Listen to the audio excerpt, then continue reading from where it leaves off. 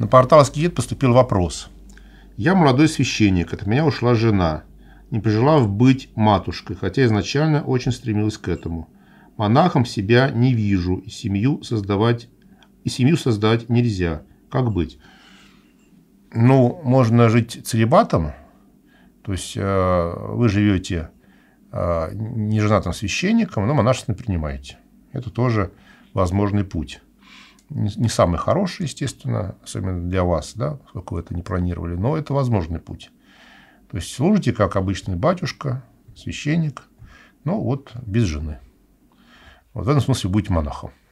Но если вы так себя не видите, если вы хотите, конечно, второй раз жениться, и не видите себя неженатым человеком в принципе, то вы должны сложить сан. Священнослужителю, даже не только священнику, но и диакону, жениться второй раз нельзя.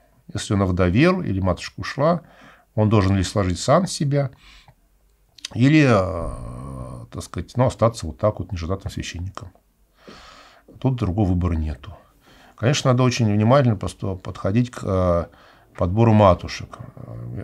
У меня, вот, слава богу, нету так вот, у знакомых, которые матушки бы ушли из моих знакомых батюшек. Вот, но э, я знаю ну, мирян, у которых девушки очень такие были горящие, верующие. А потом веру потеряли. Совсем. И стали там и любовников иметь, и, в общем, ну, вести такую весьма нехристианский образ жизни. Вот. И, ну вот, ну, конечно, это тут не такая трагедия для священника. Тут человек может разжениться. Вот. Но вот надо не торопиться. Не торопиться. Особенно это касается именно кандидатов священников. Не торопиться. Посмотреть на папу-маму. Посмотреть на девушку. Знаете, мой духовник первый сказал как-то э, одной девушке, говорит, у тебя, думаешь, вера? У тебя не вера, всего лишь религиозное настроение. Но чтобы это не было просто некое увлечение. Люди увлекаются теннисом, увлекаются, увлекаются какой-то рок-группой, писателем, там, еще чем-то. Да? А, люди могут увлечься в силу своей психологии верой. Это удивительно завораживающая вещь но не иметь глубины в себе, вот как по известной притче о сеятеле. Не иметь глубины в себе. И это, конечно, достаточно быстро проявится. Ну, как быстро? По своему это может не быстро. Это понадобится, может, год там, и даже больше. Это сейчас, это когда женится там, через 2-3 месяца знакомства, да, это кажется, что э, не быстро. А так это достаточно быстро вот, в плане нашей жизни. Поэтому надо не торопиться, особенно именно кандидат в священникам, то есть те люди, тем людям, которые хотят стать священниками. Не торопиться и, и смотреть, потому что, ну, кто выбирает? Сейчас ведь насилие никого не женят, замуж не выдают, мы сами это делаем. Вот. И здесь, конечно, искать не внешнюю красоту, там, фигуры, лица, э, не какую-то харизму особенную, да, такую привлекательность, такую, знаете, обаятельность, а, а добрый характер. Характер женщины, которая, девушки, которая настроена на семейные отношения, на добро, из хорошей семьи, пусть даже не очень воцерковленной, но там действительно жили во многом с христианским, по христианским принципам.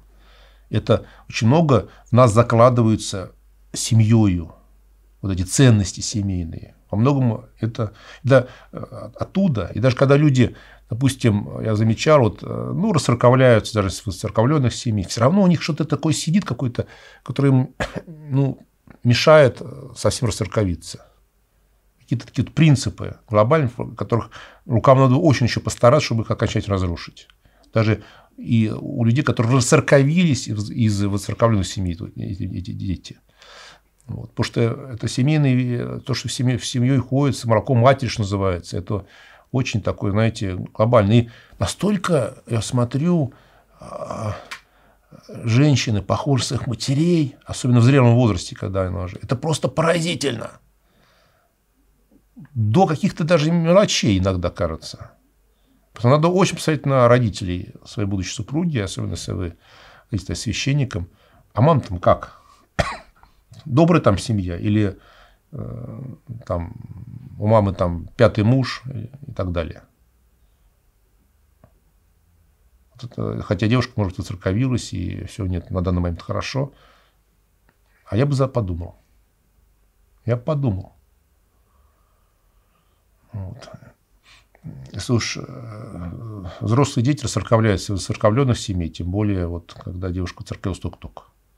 Потому тут особенно играет роль, э, что если представляет его ее семья, откуда она. Вот. Ну и смотри, очень надо смотреть, э, какой опыт у вашей избранницы. Если она девственница, это очень хорошо. Если у нее богат сексуальный опыт, ну, благодаря вот внешним данным, там, уму, там, талантам и так далее, но тем не менее он есть, то вот, ну, вообще по канонам это нельзя делать церковным, да, матушка быть девственницей, и, ну, по крайней мере, чтобы богатых сексуального уровня не было. Иначе, ну, это может все вернуться на круги своя. Сейчас озерковилось, стало такое примерным поведение. Прошло там 3-4-5 лет, и человек потянуло. Почему? Потому что э, такая увлеченность церковной жизни стала проходить, к сожалению.